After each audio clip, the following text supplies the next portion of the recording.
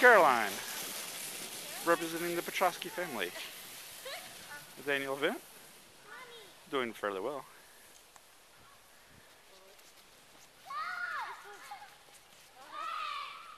This may be her longest attempt of the day. And we believe so. News at 5.